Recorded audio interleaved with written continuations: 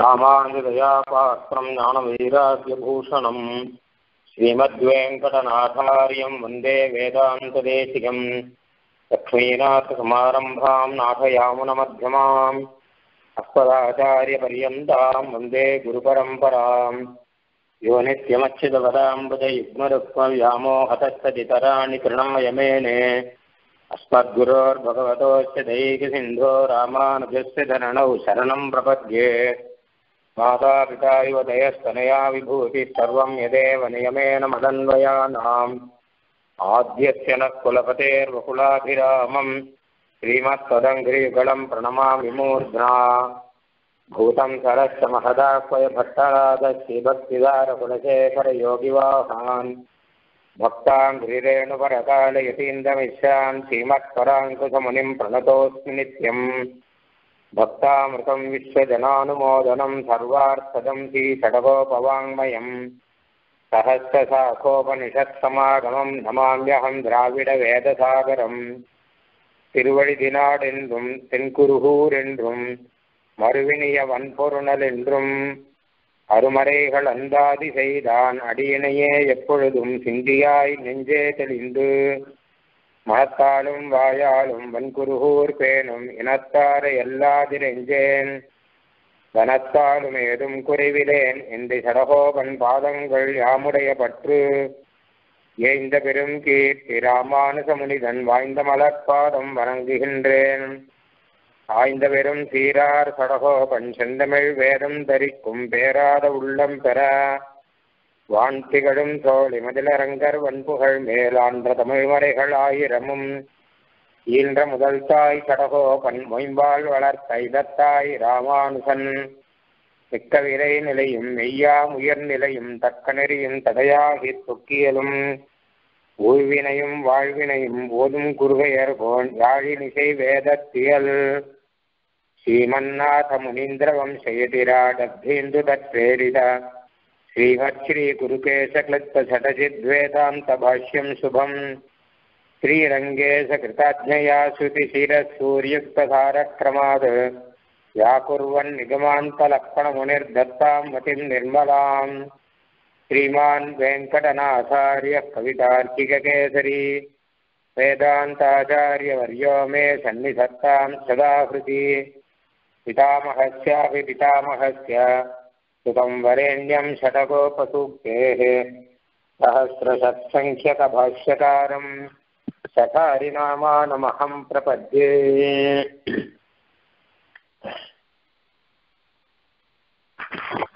திருக்குழந்தை எம்பெருமான் விஷயமாக ஆறாவதே என்று இருக்கக்கூடிய திருவாய்மொழியை நாம் இப்போது பார்த்து கொண்டிருக்கிறோம் என்னை என் செய்கின்றாய் என்னான் செய்கேன் யாரே கலைகன் என்னையும் செய்கின்றாய் என்பதாக ஆழ்வார் பெருமாளிடம் கேட்கிறார். நான் செய்வதற்கு எந்த உபாயமும் இல்லை. உன்னை தவிர வேற கதியும் இல்லை. அதனால் என்னுடைய எத்தனத்தினாலே என்னுடைய முயற்சியினாலேயே உன் திருவடிகளை நான் பெறுவேன் என்று நீ நினைத்தாய் ஆனால் அது நடக்கிற காரியம் இல்லை. உன்னுடைய கிருபையனாலே உன்னுடைய திருவிழை எனக்கு கொடுத்தருள வேணும் என்பது தவிர வேறு உபாயம் கிடையாது. அப்படி வேறு ஒரு உபாயம் இருந்தாலும் அது எனக்கு வேண்டாம். பின்ன என்ன கேட்டா ஆன பின்பு என்னால் என்னால் அந்நாள் உன்னதால் பிடித்தே சிலக்கானே அப்படின்னு ரொம்ப ஆச்சரியமான ஒரு பிரார்த்தனை. என்னுடைய வாழ்நாள் முழுவதுமாக இங்கே நான் செல்லுகின்ற நாள் எத்தனை நாள்கள் உண்டோ அத்தனை தினங்களும் உன் திருவடியே நிரந்தரமாக அனுபவித்துக் கொண்டு நான் நடக்க வேணும் என்பதாக இங்கே பிரார்த்திக்கிறார். நம்மளுடைய நிலைமை அதாவது சரணாகிதி பண்ணவனுடைய ஒரு நிலைமையை இத்தனை தெளிவாக காட்டுகிற பாசுரம் வேறு இருக்க முடியாது. என்னான் செய்கேன் நான் என்ன செய்வேன் அப்படின்னு அனன்ய கதிகத்துவத்தை சொல்லி அனன்ய உபாயத்தத்தை சொல்லி சாலே கலைகன் அனந்த உபாயத்தத்தை சொல்லி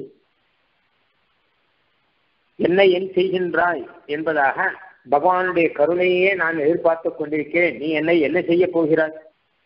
எனக்கு உன்னுடைய திருவிடுகளை பெறுவதற்கு வேறு உபாயம் இருந்தாலும் அது வேண்டாம். அதை நீ எனக்கு தர வேண்டாம் உன் கருணையாலே தர வேண்டும் என்பதாக பிரார்த்தித்தார்.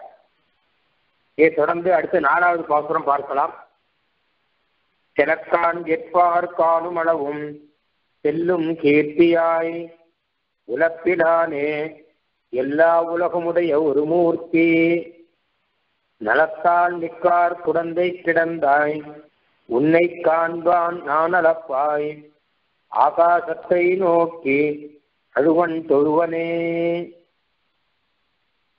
எம்பெருமானுடைய கீர்த்தி எல்லை இல்லாமல் இருக்கிறது.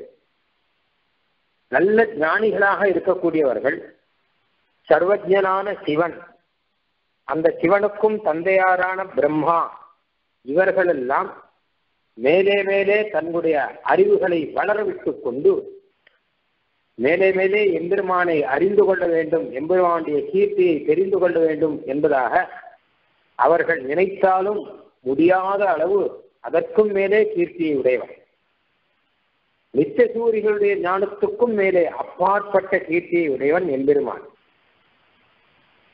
அனவதிக அதிசய அசங்கேய கல்யாண குண நிதியாக இருக்கக்கூடியவன் எம்பெருமான்.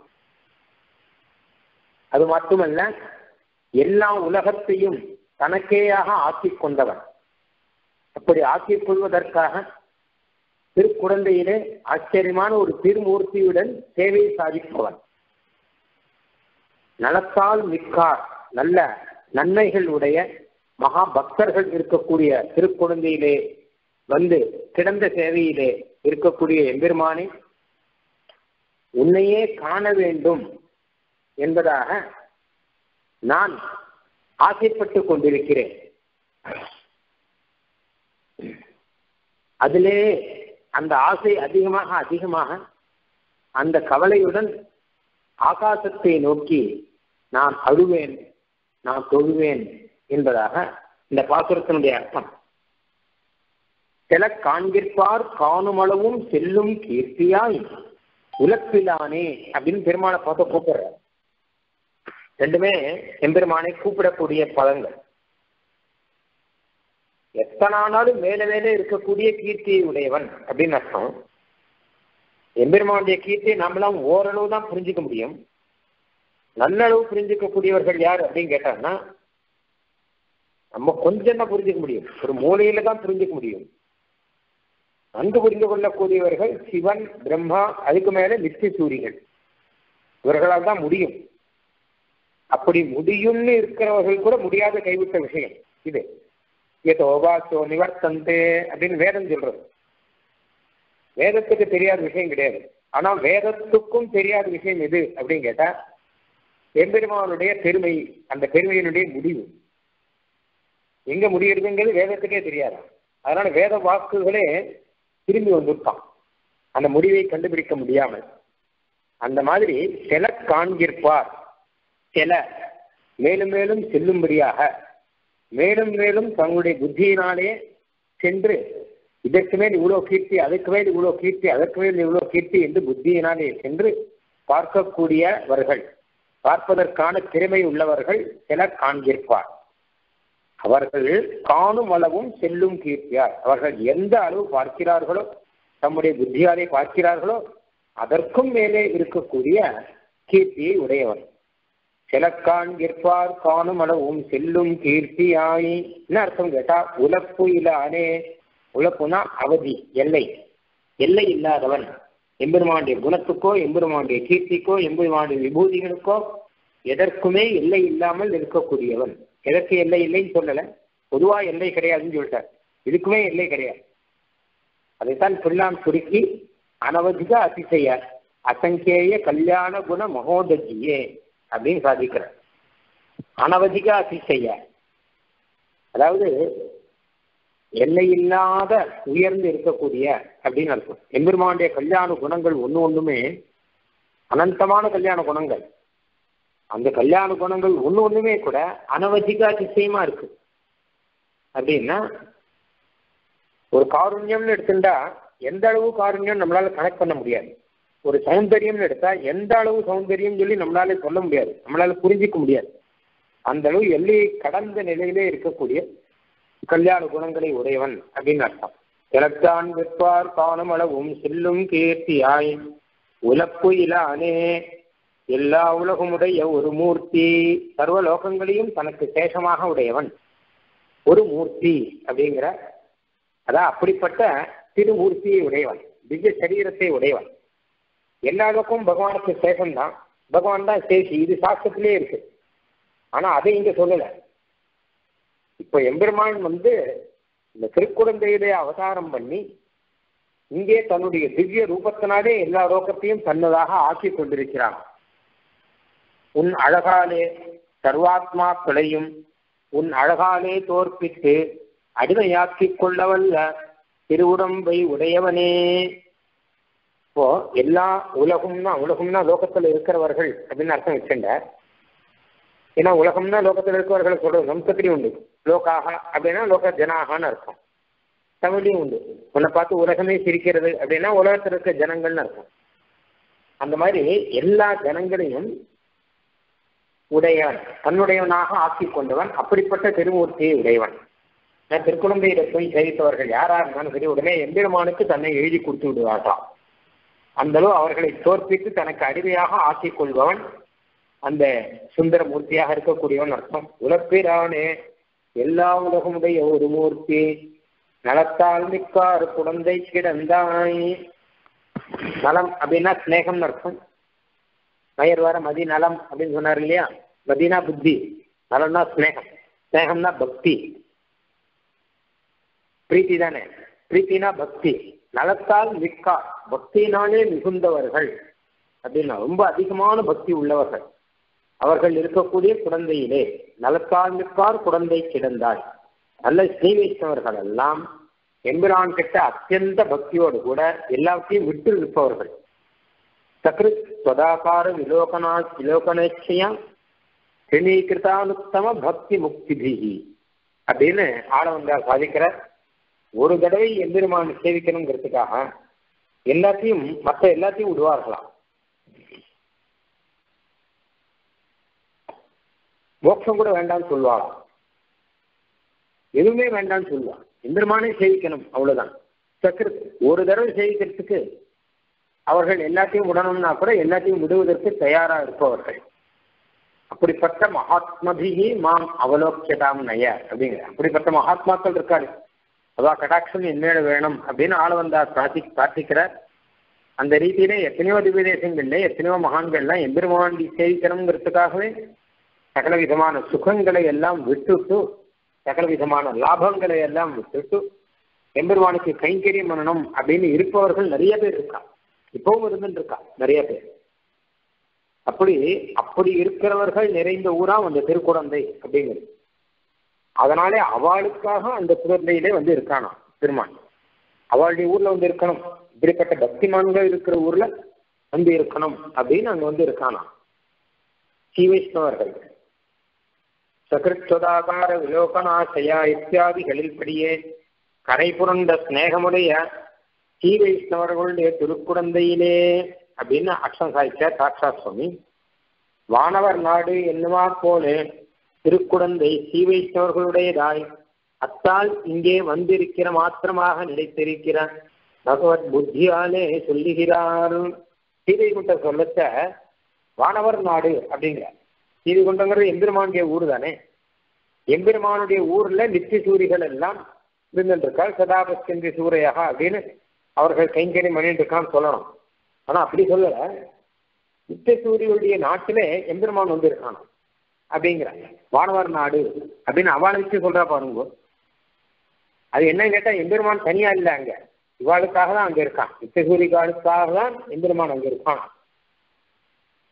அழகாக வைகுண்டேது பரே லோகே ஸ்ரீயா சார்த்தம் ஜெகத்பதி ஆஸ்தே விஷ்ணு ரச்சிந்தியாத்மா பக்தைர் பாகவதை வைகுண்டங்கிற லோகத்துல பிராட்டியோடு கூட பெருமான் இருக்கானே பிராட்டியும் பெருமானுமாக ரெண்டு பேருமாக இருக்கிறார்களே அவ இருக்கும்போது பக்தைர் பாகவதை பாகவத பக்தர்களோடு கூட இருக்காள் தனியா இல்லையா? அதனால தனியா இருந்தா அது ஒண்ணு அந்தவில் பேரின்பத்து அடியரோடு இருந்தமை அப்படின்னு சொல்ற ஆழ்வார் கூட. அதனால பக்தர்களோடு இருக்கிறதுக்காக தான் ஸ்ரீகுண்ட லோகத்திலே இருக்கான். தனியா இருக்கணுங்கிறதுக்காக இல்லை. அப்படி பார்த்த எம்பெருமான் இங்க பூலோகத்துல பக்தர்கள் நிறைய இருக்கக்கூடிய இடம் எதுவும் பார்த்தான். திருக்குழந்தையிலே சீவைஸ்தார்கள் நிறைய பேர் இருக்கா அப்போ அவ ஊர்ல நாமளும் போய் இருக்கலாமே தோணிச்சு அதுக்காக சீவைகுண்ட லோகத்திலே நீங்க வந்து காணாம் பெருமாள். அதனால என்ன கேட்டா இந்த வைஷ்ணவர்களுக்காக பகவான் வந்தபடினாலே இவர்கள் இருக்கக்கூடிய ஊர் இவர்களுடைய ஊர்னு தான் சொல்லணும். பெருமாளுடைய ஊர்னு சொல்லக்கூடாது. அதுதான் நலத்தால் மிக்கார் குழந்தை. இது நல்ல பக்தியோடு இருக்கக்கூடிய வைஷ்ணவர்கள் நிரம்பி இருக்கக்கூடிய கிடந்தை. அந்த குழந்தையிலே கிடந்தாய். நலத்தால் மிக்கார் குழந்தை கிடந்தாய். இப்பவுமே திவ்ய தேசத்துக்கு பெருமை என்பது பெருமாளினாலே வரக்கூடிய பெருமையை காட்டிலும் அங்க இருக்கக்கூடிய பாகவதர்கள்னால தான் உண்மையிலே பெருமை அதிகம். ஸ்ரீரங்கத்தை அப்படி தலையில தூக்கி வச்சுன்னு கொண்டாடுறோம் எல்லாரும்? என்ன காரணம்? எல்லா திவ்ய தேசத்தில் இருக்க பெருமான் தானே ஸ்ரீரங்கத்திலையும் இருக்கா ஒரே பகவான் தானே. ஆனால் ஆழ்வார் ஆச்சாரியர்கள் மொத்த பேரும் மண்டியிட்டு கிடந்த இடம் அது ஸ்ரீரங்கம்ங்கிறது. அதே போல பெருமாள் கோயில். பெருமாள் கோயிலுக்கு என்ன பெருமை அப்படின்னு கேட்டான்னா ஆழ்வார் ஆச்சாரியர்கள் நம்ம இதில் யார் யார்கள் வந்தாலோ சுவாமி ராமானுஜர் சுவாமி வேதாந்த தேசிகர் அதுக்கப்புறம் நடாதூர் அம்மாள் அதுக்கப்புறம் பிள்ளான் அதுக்கப்புறம் அப்புள்ளார் இது மாதிரி பெரிய பெரிய ஆச்சாரியர்கள். அதுக்கப்புறம் இன்னும் அநேக ஆச்சாரியர்கள். இதுவரைக்கும் பல ஆச்சாரியர்கள் இருக்கக்கூடிய இடம் இந்த ஸ்ரீரங்கம் இந்த காஞ்சிபுரம் முதலானதெல்லாம். அதனால தானே அதுக்கெல்லாம் இன்னும் பெருமை கூடுவாக கூடுதலாக இருக்கு. அதனால எம்பெருமானை காட்டிலும் அந்த திவ்ய தேசத்துக்கு பெருமை சேர்ப்பவர்கள் அங்கு இருக்கக்கூடிய ஆச்சாரியர்கள் பக்தர்கள். அதிலும் முன்னாடியே சொன்ன மாதிரி சகிருத்வதாகார விலோகநாசையா அப்படின்னு சொல்ற மாதிரி கரை புரண்ட சிநேகமுடையவர்கள். அந்த பெருமானுக்காக எது வேணா செய்வார்கள். சிவமகான்கள் அங்கே பகவத் கைங்கரியத்துக்காகவே இருக்கா? ஸ்ரீரங்கத்திலையும் காஞ்சிபுரத்திலையும். எல்லாத்தையும் விட்டுட்டு இருக்கா? அங்கே காஞ்சிபுரத்திலே வரதாச்சாரியார் சுவாமி. தாத்தாச்சார் சுவாமி தன்றி வரதாச்சாரியார் சுவாமி எழுதியிருந்தார். பரமசாத்விகராக எழுதியிருந்தார். எம்பெருமானுக்கு கைங்கரியத்தை விடாத பண்ணிட்டு இருந்தேன் ரெண்டு வேளையும் கைங்கரியம் ரெண்டு வேளையும் விட மாட்டேன் அதை தவிர வேற எதுவும் தெரியாது. வேதாத்தியனம் பண்ணவர் சாஸ்திராத்தியனம் பண்ணவர் சாமானிய சாஸ்திரம் அத்தியனம் பண்ணவர். அப்புறம் நாவல் பாகத்துல வேதாந்த காலக்ஷேபங்கள்லாம் பண்ணவர். அவர் நினைச்சிருந்தால் பல இடத்துல போய் சதஸ்லாம் அன்வயித்து மகாவித்வானாக ஆகியிருக்கலாம் அவர் நினைச்சிருந்தால் அவர் சாமானிய சாஸ்திரம் விசேஷ சாஸ்திரம் எல்லாத்தையும் அவர் நிபுணராக இருந்தபடியினாலே ஒரு பெரிய உத்தியோகத்தை ஒரு யூனிவர்சிட்டியிலயோ எங்கேயாவது பெரிய உத்தியோகத்தை பார்த்து கொண்டு அங்கே ஆனந்தமாக அவர் மாச சம்பளத்தோடு கூட இருந்திருக்கலாம். ஆனால் பகவத் கைங்கரியம் நமக்கு இருக்கு. அங்க விசேஷமான கைங்கரியம் தேவ பெருமாள் சன்னதியிலே அவருக்கு மந்தபுஷ்பம் வேதாரம்பம் முதலான கைங்கரியங்கள்லாம் இருக்கு. அதனால பகவத் கைங்கரியம் இருக்கிறபடினாலே தீர்த்த கைங்கரியம் அது இருக்கு. முதல் தீர்த்தக்காரர் இது பெரிய சாத்தியம் அல்லவா?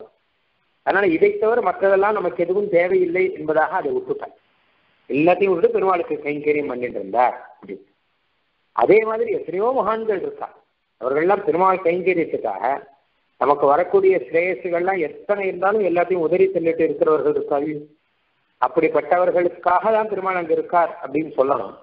அதுதான் இந்த பாசுரத்திலே சொல்றார் நலத்தால் மிக்கார் குழந்தை கிடந்தாய் அப்படின்னு. உன்னை காண்பான் நான் அளப்பாய். ஆகாசத்தை நோக்கி அதுவன் தொழுவனே. உன்னையே பார்க்க வேண்டும்.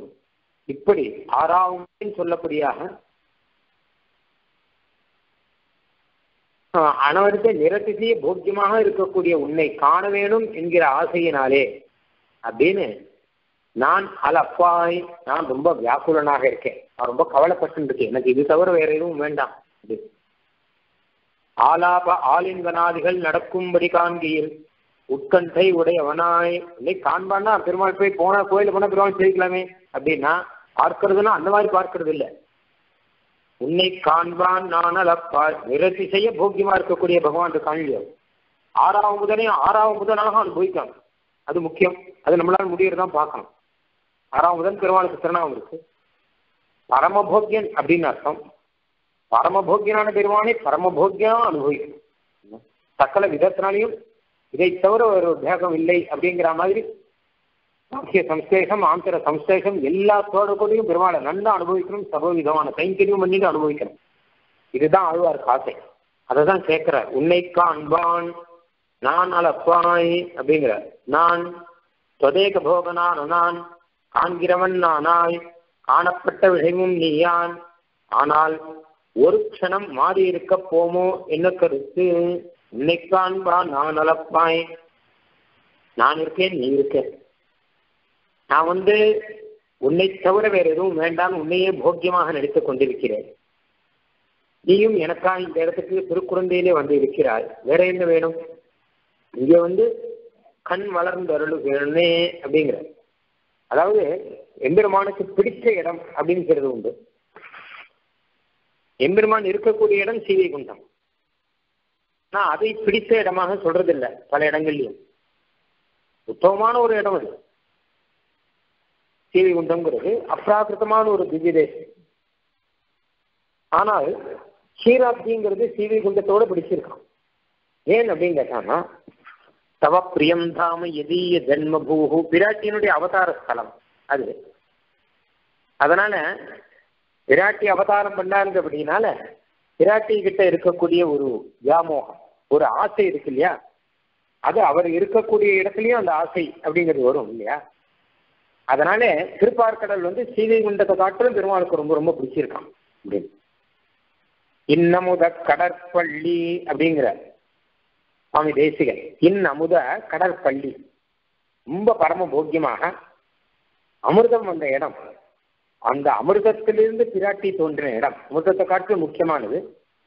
அமுதினில் வரும் பெண்ணமுது அப்படின்னு சொல்றார். அதாவது சமுத்திரத்தை கடைந்த போது அதுல முதல் முதல்ல என்னென்னமோ பதார்த்தங்கள்லாம் வந்தது. அதெல்லாம் யார் யாரோ எடுத்திருந்தார்கள். முதல்ல விஷம் வந்தது அதுக்கப்புறம் குதிரை வந்தது யானை வந்தது அப்சர ஸ்திரீகள் நிறையா வந்தது. அதுக்கப்புறம் அமிர்தம் திரண்டு வந்துதான். அந்த திரண்டு வரத்துக்கு முன்னாடி இந்த அமிர்தம் மேலே இருக்கச்ச அதிலிருந்து பிராட்டி தோன்றினா அதனால அமிர்தோத்பவா அப்படின்னு திருநாமம் அமிர்தம். அப்போ விண்ணவர் அமுதுனா அமுதில் வரும் பெண்ணமுது அப்படின்னு ஆழ்வார் சொல்றார்.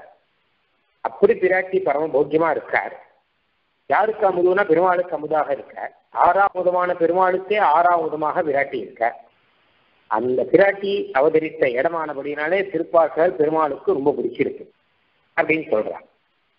அப்படிப்பட்ட பெருமாள் அந்த திருப்பார்கடலையும் விட்டுட்டு அதுக்கப்புறம் அடுத்த இடத்துக்கு வரான்னா அது அதை காட்டிலும் ரொம்ப பிடிச்சதா இருக்கணும். அப்பதானே வருவான். செய்து கண்டத்தை விட்டுட்டு திருப்பார்கடலுக்கு வந்தவன் சொந்த இடத்தை விட்டுட்டு பிராட்டி இருந்த இடம் பிடிச்சிருக்குன்னு வந்தவன். அதையும் விட்டுட்டு அங்கிருந்து ஒரு இடத்துக்கு வந்தான்னா அப்போ அவ எவ்வளவு பிடிச்சவாளா இருக்கணும் அப்படின்னு பார்க்கணும்.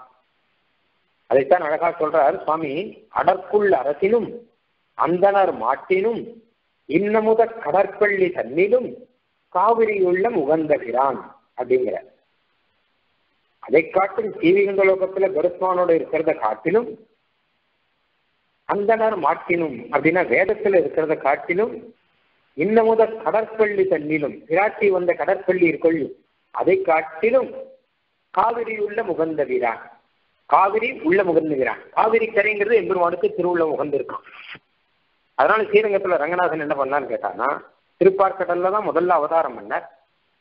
அதுக்கப்புறம் அங்கிருந்து சத்தியலோகம் பண்ணார் அதுக்கப்புறம் அங்கிருந்து அயோத்தியா வந்தார். அதுக்கப்புறம் அங்கிருந்து ரங்கநாதன் ஸ்ரீரங்கத்துக்கு வந்திருக்கார். இப்படி எல்லாத்தையும் விட்டு விட்டுட்டு வந்து ஸ்ரீரங்கத்துல கடைசியில வந்து இருக்கிற அப்படின்னால ஸ்ரீரங்கம் தான் அவருக்கு ரொம்ப ரொம்ப பிடிச்சிருக்குன்னு தெரியாது.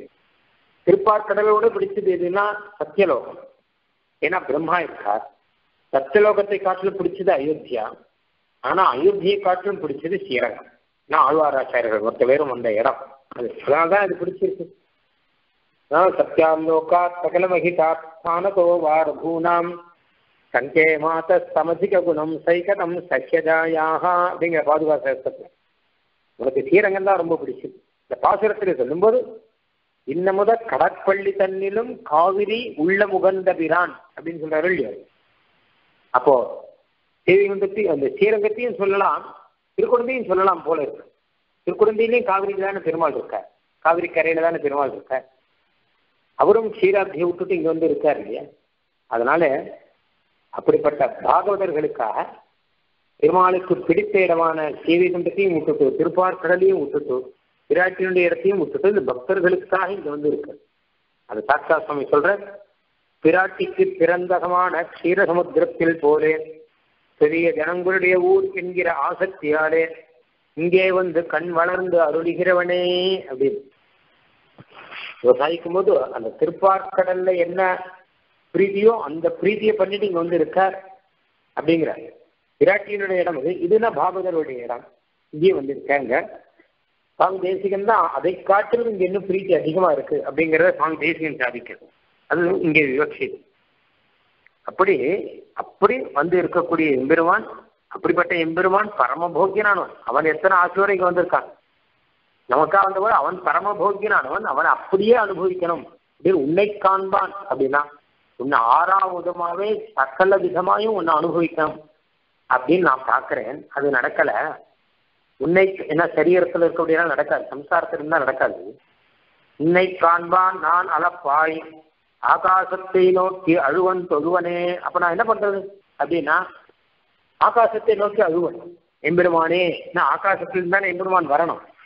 ஏதஸ்மின் அந்தரே விஷ்ணு உபயாதோ மகாத்விதி என்று நீ எழுந்தருளுகிற சம்பாவனை உடையதான ஆகாசத்தை பார்த்து பாலரை போலே அழா நின்றேன் அப்படிங்கிற. சின்ன குழந்தைகள்லாம் அம்மா எந்த பக்கத்துலேயும் வராலும் அந்த பக்கத்தை பார்த்து அழுதுங்க. அம்மா கடைக்கு போனா வச்சுக்கோங்க. அப்போ அந்த பக்கமே பார்த்து பார்த்து எழுதும் அம்மா வராளா வராளான்னு சொல்லி. அந்த மாதிரி எம்பெருமான் வரணும்னா எங்கேருந்து வருவான் அப்படின்னா சீவி லோகத்துலேருந்து தானே வரணும். ஆகாசத்துலேருந்து தானே வரணும். சீவி லோகத்துக்கே ஆகாசம்னு பேர். வேதத்தெல்லாம் பரமே மண்ணு அப்படின்னா வரும். அதனால அப்படி நீ வரக்கூடிய இடம் ஆகாசத்தில் இருந்து அதனால நான் அதை பார்த்து அழுவன். நீ வருவியோ வருவியோ என்று நினைத்து அழுவேன். அழுவன் சொல்லுவனே உன்னுடைய வரவை எதிர்பார்த்து சின்ன குழந்தையைப் போலே நான் அழுது கொண்டிருப்பேன். அப்புறம் தொழுது கொண்டிருப்பேன் அப்படிங்கிற. பிள்ளான் சாதிக்கும் போது உன்னை காண்பான். நான் அலமர்ந்து ஸ்ரீ கஜேந்தாழ்வானுக்கு வந்து தோற்றி அருளினா போலே வந்து தோற்றாய் என்று கொண்டு ஆகாசத்தை நோக்கி அழுவன் தொழுவன் என்கிறார் கஜேந்தாழ்வானுக்கு ஆகாசத்திலிருந்தானே வந்தார் பெருமான். சங்கச்சக்க கதாபாணியாக ஆகாசத்திலேருந்து வந்து காப்பாத்தின மாதிரி எனக்கும் ஆகாசம் ஆதி மூலமே கத்தின கஜேந்திராவனுக்கு வந்த மாதிரி எனக்கும் ஆகாசத்திலிருந்து தான் நீ வருவாய் என்பதாக நினைத்து நான் அழுவன் அப்படிங்கிறேன். சின்ன குழந்தை மாதிரியாக அழுவன். ஏன்னா பரம குழந்தைகளுக்கெல்லாம் என்ன கேட்டா அம்மாவை தவிர வேற கிடையாது. குழந்தைகளுக்கு பெரிய விஷயம் என்ன கேட்டா ஒரு திருடமான அத்தியவசாயம் குழந்தைகளுக்கு உண்டு. நம்மளும் குழந்தை மாதிரி தான் இருக்கணுங்கிற. அம்மாவை தவிர வேற எதுவும் கிடையாது குழந்தைகளுக்கு. அம்மா இல்லைன்னா அழுகும். அம்மா பார்க்க முடியாட்டா அழுகும்.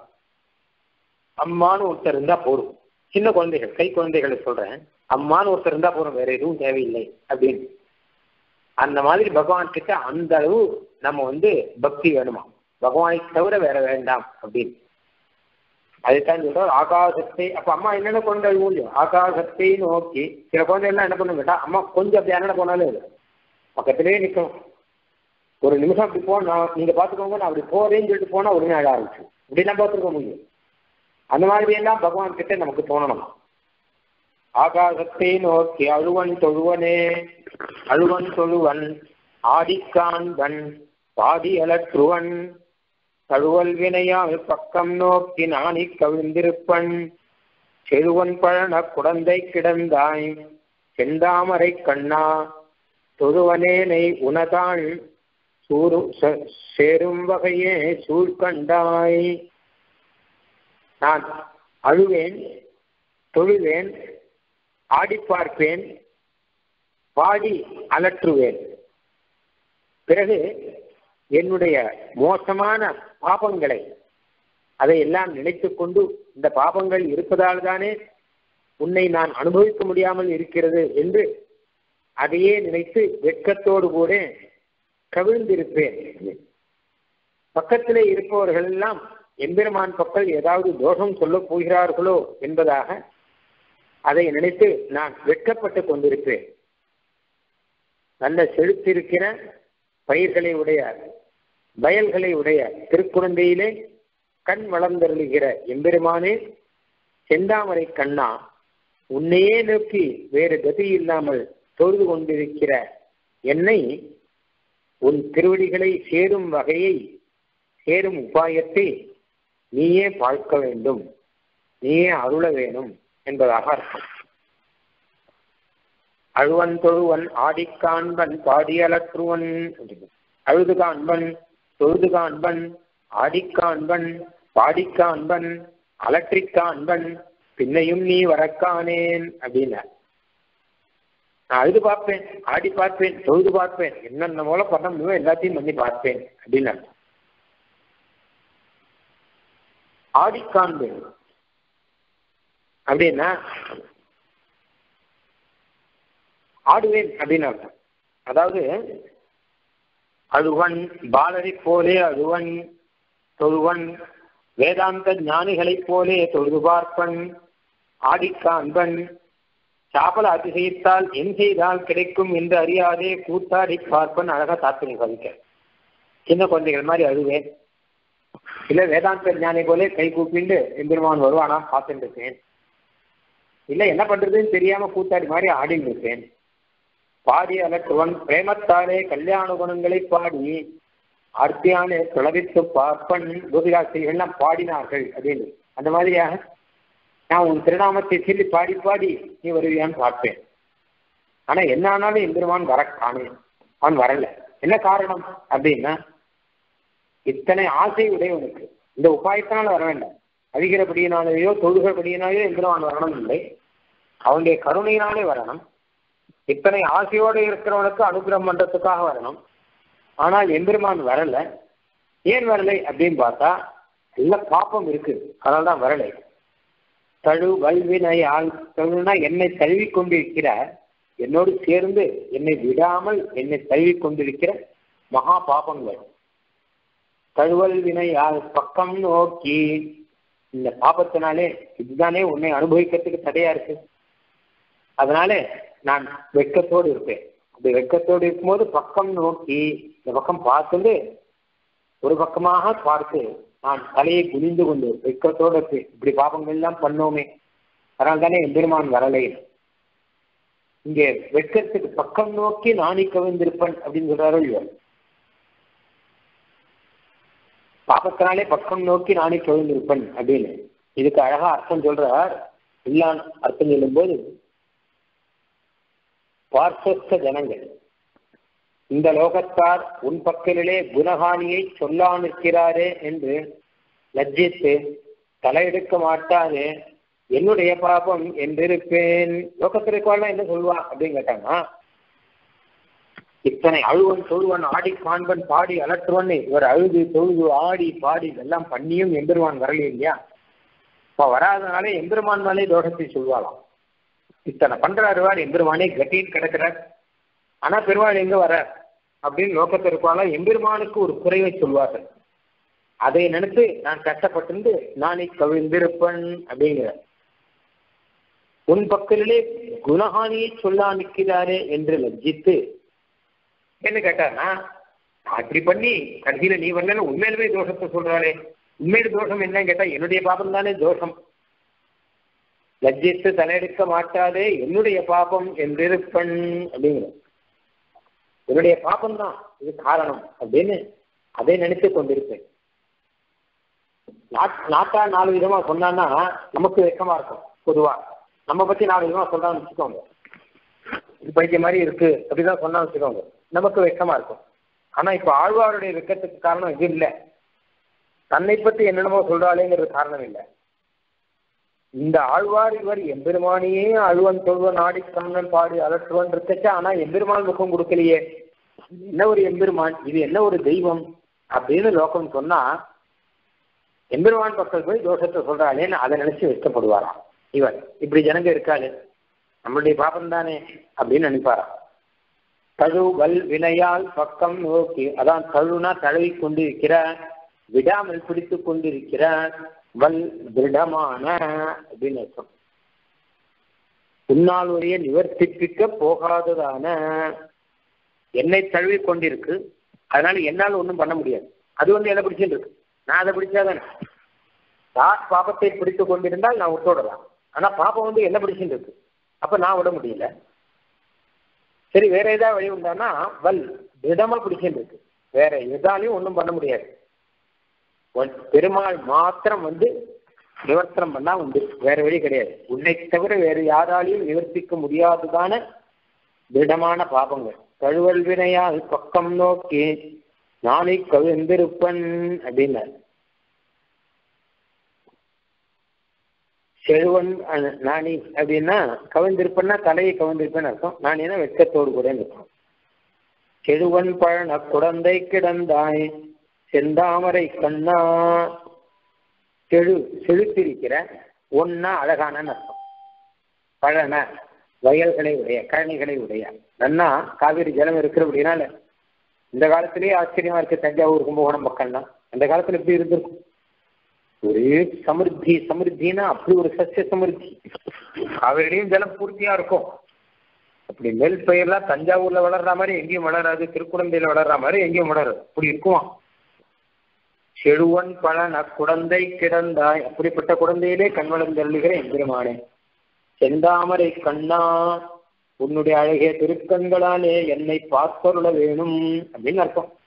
செல்வன் பழன குழந்தை கிடந்தாய் செந்தாமரை கண்ணா தொழுவனேனை உனதால் சேரும் வகையே சூழ்கண்டாய். நான் உன்னை தொழுது கொண்டிருக்கிறேன். அப்படி தொழுவனாக அதாவது வேற வழி இல்லாமல் உன்னையே நினைத்து தொழுது கொண்டிருக்கிற என்னை உனக்கால் சேரும் வகை உன் திருடியை அடையும் வகையில் நீயே கண்டாய் நீயே சூழ் கண்டாய் நீயே உபாயம் பார்க்க வேண்டும். நான் வந்து என்னுடைய பிரவருத்தியாலே உன்னை அடையணும் அப்படின்னு நினைக்க வேண்டாம். என்னுடைய பிரவருத்தி ஒன்றும் கிடையாது. நீயே சங்கல்பிக்க வேண்டும் அப்படின்னு அர்த்தம். செழுவன்பழ குழந்தை கிடந்தாய் செந்தாமரை கண்ணா ஒருவனேனே உனதான் சேரும் வகையே சூழ் கண்டாய் உன்னை சேரும் வகையே சூழ் கண்டாய் நீ உபாயமாக சூழ் சூழ் அப்படின்னா ஏதோ ஒரு சூழ்ச்சி பண்ணுன்னு சொல்றாங்க இல்லையா? இந்த இடத்துல உபாயத்தை சொல்லு. ஏதோ ஒரு உபாயம் பண்ணணும். நீ நீ என்ன சூழ்ச்சி பண்ணுவே தெரியாது. ஏதோ சூழ்ச்சி பண்ணி பாழம் பாண்டவர்களை எல்லாம் காப்பாற்றின மாதிரி என்கிட்ட எதுவும் கிடையாது. நான் ஒரு உபாயம் செய்யலை. ஆனால் நீ ஏதாவது சூழ்ச்சி பண்ணி என்னை கூட்டிக் கொள்ள வேண்டும் என்ன சொல்வனேனை உனதால் சேரும் வகையே சூழ்கண்டாய் சூழ்கண்டாய் உன் சூழ்கண்டாய் என் தொல்லை வினையை அறுத்து உன்னடி சேரும் ஊர் கண்டிருந்தே. தூரா குழி தூர்த்து என நாள் அகன்றிருப்பன் வாழ்த்தொல் புகழார் குழந்தை கிடந்தாய் வானோர் கோமானே. யாழி மிசையே அமுதே அறிவின் பயனே அரியேனே பகவத் அனுபவ கைங்கரியத்தாலே சுகமாக வாழ்பவர்கள் நல்ல கீர்த்தியுடைய சீவைஷ்ணவர்கள் அவர்கள் நிறைந்திருக்கக்கூடிய திருக்குடந்தையிலே கண்வளந்தருளிகிற எம்பெருமானே. வானோர் கோமானே நித்து சூரியர்களின் நாயகனே. யாழி நமுதே வீணையினுடைய கானமே அதாவது வீணனுடைய கானம் போல் நிறைசெய்ய போக்கியமானவனே. அமிர்தமே. அப்படிலாம் பெருமானை கூப்பிட்டு அறிவின் பயனே என்னுடைய ஞானத்தினுடைய பலனே நீதானே. அப்படின்னு ஹரியேரே சிம்மம் சிரேஷ்டமான சிம்மமானவனே. என்னுடைய தொல்லை வினையை எடுத்து பழைய விடைய பழைய பாவங்களை நாம் அறுத்து உன் அடிசேரும் நீ ஒரு உபாயம் பண்ண வேண்டும். நான் உன் திருவடிகளை அறியும்படி நீ சங்கல்பிக்க வேண்டும். அப்படின்னு. உன்னடி சேரும் ஊழ்கண்டிருந்தே உன்னை சேர வேண்டும் அப்படின்னு இதுதான் எனக்கு தேவை. இதெல்லாம் தெரிஞ்சிருக்கும் நான் இந்த பிரகிருதியில இருந்து எதையோ அனுபவிச்சு தூரா குழி தூர்த்து தூர்க்க முடியாத குழிகளை எல்லாம் தூர்த்து தூர்த்து இந்திரியங்களுக்கு எத்தனை பட்டாலும் எத்தனை கொடுத்தாலும் ஆசை மாறாத திருப்தி இல்லாத இந்திரியங்களுக்கு இன்னும் கொடுத்து கொடுத்து எத்தனை நாள் தான் நான் உன்னை திரும்பி இருக்க போகிறேன்? நீ எனக்கு அனுகிரகம் செய்ய வேண்டாமா? என்பதாக அர்த்தம். சூழ்கண்டான் என் தொல்லை வினையை அறுத்து உன் அடிசேரும் ஊழ்கண்டிருந்தே தூராக்குழி தூர்த்து எனை நாள் அகன்றிருப்பன் தூராக்குழி தூர்த்துங்கிற குழி. ஒரு பண்டத்தை தூர்த்தோன்னா கொஞ்சம் கொஞ்சம் குழி மூடினா பரவாயில்ல. இந்திரியங்கள் தான் குழி. இந்திரியங்களுக்கு நாம என்னென்ன விஷயங்களை எல்லாம் கொடுத்து கொடுத்து கொடுத்து கொடுத்து அதை நிரப்பணும். குழினா அதனுடைய ஆசை. இந்திரியங்கள் மேல மேல ஆசைப்படுறது நம்ம விஷயத்தை கொடுக்குறோம். இதை அனுபவி இதை அனுபவி இதை அனுபவித்து எத்தனை அனுபவிச்சாலும் முடிஞ்சு போச்சு அவ்வளவுதான். இனிமே ஒன்றும் வேண்டாம் அப்படின்னு இந்திரியம் சொல்றது கிடையாது. இன்னும் மேல மேல மேல மேல அந்த குழியானது தூரவே மாட்டேங்குது. அது இன்னும் குழியாவே இருந்துருக்கு எத்தனை பண்ணாலும். அப்படிப்பட்ட அந்த இந்திரியங்களாகிற குழி இந்த பிரகிருதி ஆகிற குழியில என்னை காண்பித்து என்னை இப்படியே வச்சிருக்கேன் எத்தனை நாள் உன்னை விட்டு நான் இருப்பேன்? நீ என்ன பண்ணணும் கேட்டா என்னுடைய பாபங்களை எல்லாம் பழைய பாபங்கள் தொல் வினையெல்லாம் போகும்படியாக ஒரு உபா நீயே பண்ணணும். அப்படிங்கிற. சூழ்கண்டாய் நீ ஒரு உபாயம் பண்ண வேணும் நான் உன் திருவடிகளை அடையும்படி நீயே சங்கல்பிக்க வேணும் உன் என் கொல்லை வினையை அறுத்து என்னுடைய அனாதியான பாவங்களை அறுத்து உன் அடிசேரும் ஊழ்கண்டிருந்தேன். நான் எம்பெருமானை பத்தி தெரியலன்னு வச்சுக்கோங்க. சில பேருக்கெல்லாம் நாஸ்திகர்களுக்கெல்லாம். அவர்கள்லாம் தூரா போய் தூத்து தூத்து பார்த்துட்டு இருப்பா ஏதோ ஒன்று அவ அதை பத்தி கவலைப்பட போறது இல்லை ஆனால் உன் அடிசேரும் ஊழ் என்னுடைய பாக்கியங்கிறது உன் திருவடியை சேருவதுதான். அதுதான் இந்த ஆத்மாவுக்கு சொரூபம் அப்படிங்கறத புரிஞ்சு வச்சுட்டு அதுக்கப்புறம் இந்த சரீரத்தில் நான் இருக்கேனே இதை காட்டிலும் கஷ்டம் கிடையாது. சரீரத்தில் இருக்கும் சரீரத்தில் இருக்கட்டும். அதாவது சரீரமே ஆத்மா அப்படின்னு இருக்கிறவன் சரீரத்திலே போகத்தை அனுபவிச்சுட்டு அத்தைக்கின்றது அங்கேயே கிடக்கும் கணக்கில் அப்படியே இருந்துட்டு போட்டான். ஆனால் உன்னை பற்றி தெரிந்து கொண்டவன் இந்த ஆத்மாவுக்கு பரமபோக்கியமானவன் நீ அப்படின்னு தெரிஞ்சின்றவன் அதை எழுந்து நிற்கிறேனே. அதை காட்டும் மோசம் என்ன? அதை எழுந்து சரீரத்தில் போய் ஈடுபட்டு இருக்கேன் அது எத்தனை கஷ்டம்? அதனால உன் அடி சேரும் ஊழ் கண்டிருந்தே உன் அடி சேருகையே இந்த ஆத்மாவுக்கு சுவாவம் என்கிறதை அறிந்திருக்க செய்தேயே. இது நல்லா தெரியும். தெரிஞ்சுன்னா இந்த சரீரத்தை விட்டுட்டு என்னால் இருக்க முடியும். தூரா குடிது உருத்து ஒன்றாலும் தூர்க்க போகாதவையான இந்திரியங்களை விஷயங்களாலே பூரிப்பித்துக் கொண்டு இந்திரியங்களாலே ஹேய விஷயங்களை அனுபவித்துக் கொண்டு எத்தனை நாள் விஸ்லேஷித்து இருக்க கடவேன் அப்படிங்கிற இந்திரியங்கள் தான் தூரா குழி. இத்தனை ஆனாலும் அதுக்கு திருப்தி கிடையாது. மேலும் மேலும் கேட்டுட்டே இருக்கும். அப்போ ஏதோ ஒண்ணு ஒரு நாக்கு இருக்குன்னு வச்சுக்கோங்க. நாக்குக்கு நல்ல ருச்சியான ஆகாரம் வேணும் தேவையா? இருக்கு அந்த ருச்சி நாக்கு கேட்கறதெல்லாம் ஒரு நாற்பது வயசு வச்சுன்னா கேட்கும். அதுக்கப்புறம் கேட்காது அப்படின்னு இருந்தா நிம்மதியா இருக்கும். ஆனா அப்படி இல்லை. ஒரு கண்ணு அப்படின்னா எத்தனையோ விஷயங்களை பார்க்கணும்னு ஆசைப்படுறது அது இந்த வயசு வரைக்கும் தான். அதுக்கப்புறம் கண்ணாலே வந்து விஷயங்களை பார்க்கணுங்கிறது ஆசைப்படாது அப்படின்னு இருந்தா பரவாயில்ல. ஆனா இவ்வளோ தூரா குழியா இருக்கு. இதை தூர்க்கிறதே நம்ம வாழ்க்கையா இருக்கு. தூரா குழி தூர்த்து எத்தனை நாள் அகன்றிருப்பேன் நான்? எத்தனை நாள் உன்னை விட்டு இருப்பேன்? நீயே ஏதாவது உபாயம் பண்ண வேண்டாமா? நீ என்ன பண்றேன்னு கேட்டானா வாழ்க்கை புகழார் குழந்தை கிடந்தாய் வானோர் கோமாளி. நீ திருக்குழந்தையில இருக்க அங்க இருக்கிறவர்களுக்காக அங்க இருக்க. வாழ்த்தொல் புகழார் வாழ்க்கையாலே சொல் புகழார் இயல்பான புகழை உடையவர்கள். வாழ்க்கைன்னா எம்பெருமானோட கூட இருக்கிறது தான் வாழ்க்கை. அப்படிப்பட்ட வாழ்க்கையை பெற்றபடியினாலே திருக்குழந்தையிலே நல்ல கீர்த்தியோடு இருக்கலாம் மகான்கள் எத்தனையோ பேர். வாழ்த்தொல் புகழார் குழந்தை கிடந்தாய் யார் வாழ்பவர்கள் அப்படின்னா எம்பெருமானுக்கு கைங்கறி பண்ணி வாழ்பவர்களே வாழ்பவர்கள். மற்றவர்கள்லாம் வாழாதவர்கள் எம்பெருமானை பற்றி தெரியாதவர்கள்லாம். அப்படிப்பட்ட வாழ்க்கையை பெற்று எம்பெருமானை அனுபவித்துக் கொண்டு திருக்குழந்தையில் இருக்கக்கூடிய நல்ல கீர்த்தியை உடையவர்கள் அவர்களுடைய ஊர் அது திருக்குழந்தைங்கிறது அதுல நீ வந்து இருக்க. வாழ்த்தோல் புகழார் குழந்தை கிடந்தாய். வானோர் கோமானே நித்தசூரிகளின் நாயகனே. யாழி நீசையே வீணையினுடைய நாதமே. வீணையினுடைய நாதம் எப்படி பரமபோக்கியமா இருக்கும்? அப்படி பரமபோக்கியமாக இருக்கக்கூடியவன். யாழி நிசையே அமுதே. அமுதேன்னு அமிர்தமே அப்படிங்கிற.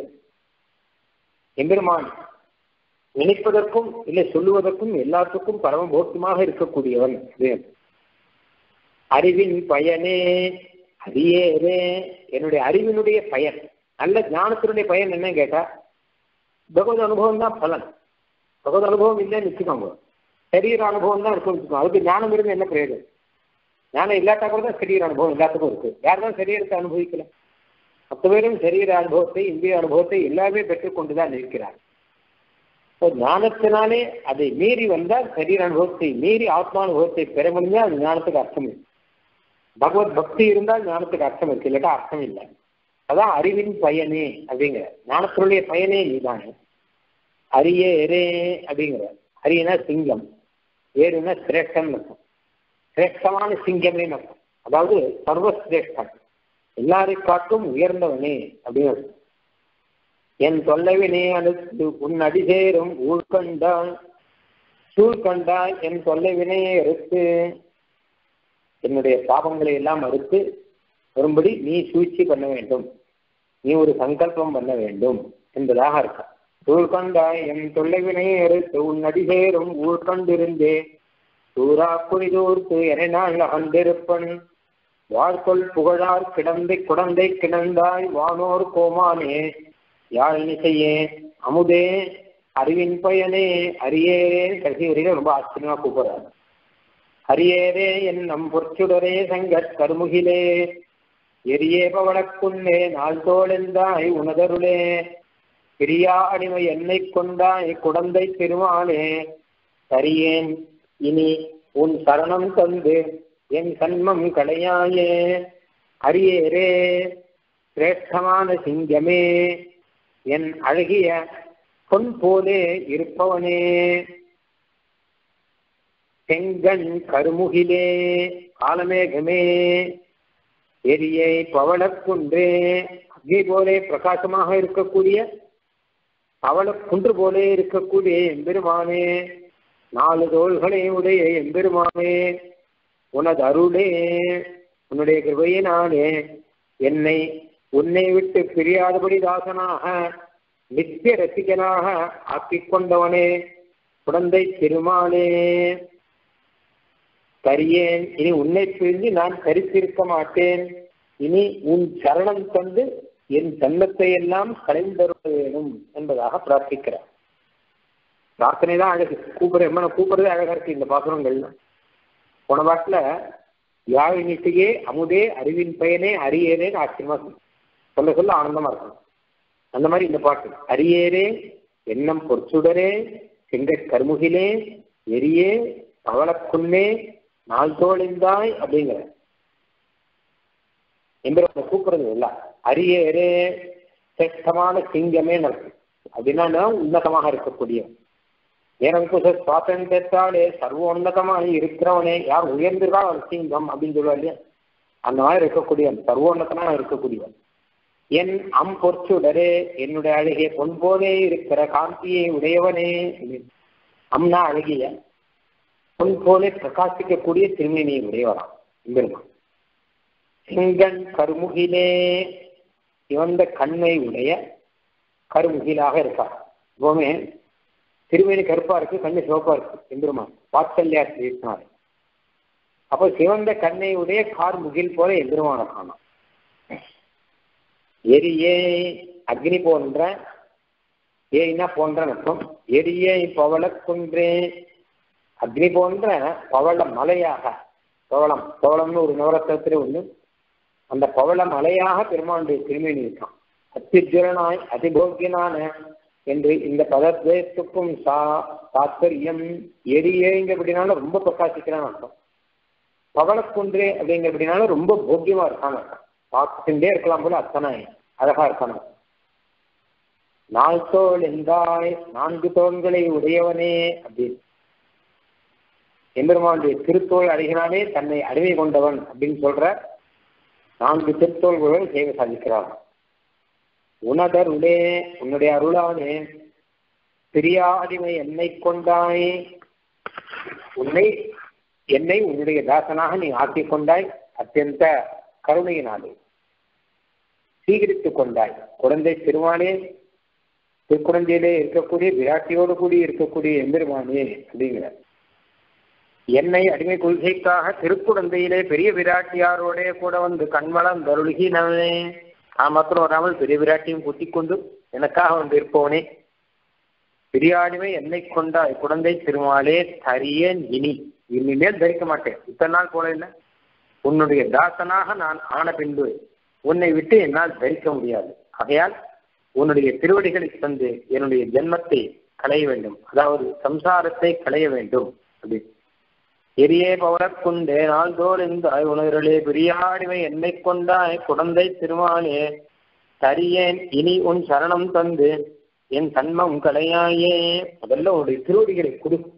குழந்தைகள்ல குழந்தைகள் ஊனு கத்திரிச்சுன்னா அம்மா என்ன பண்ண முதல்ல பாலை கொடுத்து அதை சமாதானப்படுத்துற மாதிரி முதல்ல திருவடி அனுகிரகத்தை கொடுத்து என்னை சமாதானப்படுத்து அப்படின்னு பிரார்த்திக்கிறேன் கரியே நுணையும் சரணம் தந்து என் தன்மம் கலையாயே அப்படின்னு பிரார்த்தனை. இங்கே தாற்பய ரத்னாவளி ஸ்லோகம் பார்க்கும்போது நிச்சௌஹித்யாமிருதத்வாத் தீர்த்த கீர்த்தியா மரியாதாதீர்த்தகீர்த்தியா நளினநயனதः நாயகத்வாத் சுராணாம் सर्वश्रेष्ठ्यादियोगात् अनितरगतिताद्यावहा सन्नभावात् दास्ये स्वे स्थापयेत् स्वामि हरिः इति கட்டஜித் ஸ்தாபயாமாச கிருஷ்ணம் எம்பெருமானவன் தன்னுடைய தாசியத்திலே பக்தர்களை வைப்பவன் என்னுடைய தாசர்களாக நீங்கள் இருந்து கொள்ளுங்கள் என்பதாக நம்மை தாசபாவத்தோடு கூட இருப்பதாக வைக்கக்கூடியவன் அப்படிங்கிறது இங்க சொல்றார். இதுல இன்னைக்கு நாலாம் பாசுரத்தை பார்த்திருக்கோம். நாலாம் பாசுரத்திலே மரியாதா தீச கீர்த்தியா. மரியாதையை கடந்த மரியாதைன்னா எல்லை. எல்லையை கடந்த கீர்த்தியை உடையவன் அப்படின்னு அர்த்தம். ஒரு எல்லைக்கு மேல இருக்கக்கூடிய கீர்த்தி. எல்லைன்னா எப்படி எல்லையை கண்டுபிடிச்சோம்னா அந்த கீர்த்திக்கு தான் எல்லையே கிடையாது. என்ன எல்லைன்னா நம்முடைய ஞானம் இருக்கும் இல்லையோ அந்த ஞானத்துக்கு தான் எல்லை உண்டு. ஆனா கீர்த்தி அந்த எல்லையை தாண்டி இருக்கான். எந்த அளவு நினைச்சு பார்க்கலாமோ அதுக்கும் மேல இருக்கணும். நம்முடைய ஞானங்கிறது கூட சொல்லல. பிரம்மாவனுடைய ஞானம் சிவனுடைய ஞானம் நித்தியசூரியனுடைய ஞானம் பிரம்மா சிவனை காட்டில் அதிகமா இருக்கக்கூடியவர்கள் அந்த ஞானத்தையும் தாண்டி கீர்த்தி இருக்கான். உழைப்பு இல்லாமல் எல்லை இல்லாமல் இருக்கான். அதனால மரியாதா தீச கீர்த்தியா மரியாதையை கடந்து இருக்கக்கூடிய கீர்த்தியை உடையவன். ஒருவராலும் அளவிட ஒண்ணாதபடியான ஒரு குணங்களை உடையவன். பிள்ளை சாதிக்கும் போது கீர்த்தின்னு சொல்லல. பொதுவா குணம் சாதிச்சுட்டேன். உலப்பிலானே சொன்னபடினால குணத்தினாலதானே கீர்த்தி பெருமாளுக்கு. அதனால எல்லையற்ற குணங்களை உடையவன் அப்படின்னு மரியாதாதீத கீர்த்தியான் நடி நனயனதா அடுத்த பாட்டுல தாமரை கண்ணா செந்தாமரை கண்ணா தொழுவனையனை உணர்ந்தால் சேரும் வகையே சூழ்கண்டாய் வந்து இங்க எம்பெருமானை சொல்லும் போது செந்தாமரை கண்ணா அப்படிங்கிறார். தாமரை பூ போன்ற திருக்கண் மலர்ச்சி உடையவன் அப்படின்னு அதுதான் எடுத்து சொல்றார் நளின நயனதா நளினம்னா தாமரம் அப்படிப்பட்ட ஒரு நயனத்தை உடையவன். எம்பெருமான் வந்து தன்னுடைய பக்தர்களை தன்னுடைய தாசர்களாக ஆக்கி ஆக்கி ஆக்கி அவர்களை தோற்பித்து அடிமை கொண்டருள்வதெல்லாம் இந்த தாமரை கண்ணை காண்பித்தான். அவனுடைய கண்ணை பார்த்தே எல்லாரும் ஞாபகித்து போய் அவனுக்காக தன்னை எழுதி கொடுப்பவர்களாம் எல்லாருமே. அதனால மரியாதா கீர்த்தியா நல்லி நனயனதா நாயகத்வாத் சுரானாம் அடுத்த பாட்டுல வரும்போது வானோர் கோமானே அப்படின்னு பார்த்தோம். நம்ம வானோர்னா நித்தியசூரிகள் நித்தியசூரியனுடைய நாயகன் பால்கொள் புகழார் குழந்தை கிடந்தாய். வானோர் கோமானே யாழ் நிசையே அமுதே அறிவின் பயனே அறியேனே அப்படின்னு. அப்போ நித்திய சூரியனுடைய நாயகனே அப்படின்னு அதனுடைய தாற்பயம். நித்திய சூரியனை தனக்கு தாசனாக ஆக்கி கொண்ட மாதிரி நம்மையும் ஆக்கி கொள்ளக்கூடியவன் அர்த்தம் நித்திய சூரியர்களோடு கூட எம்பெருமான் எப்பவும் தான் இருக்கான். அவளை ஒரு நாளும் சம்சாரத்துக்கு திருப்பி எல்லாம் அனுப்புறது கிடையாது. அவள் எப்பவுமே சதா கிருஷ்ணந்தி எப்பவுமே எம்பெருமான அனுபவிச்சிருக்கார் அப்போ அவர்களை தன் அனுபவத்தை பூர்ணமாக கொடுத்து அவர்களை தன் கூட வச்சிருக்காங்க எம்பெருமான் அந்த மாதிரி இங்கே நம்மையும் தன்னுடைய தாசியத்திலேயே ஈடுபடுத்தி தன் கூடையே வைத்துக் கொள்ளக்கூடியவன் அப்படின்னு அர்த்தம்.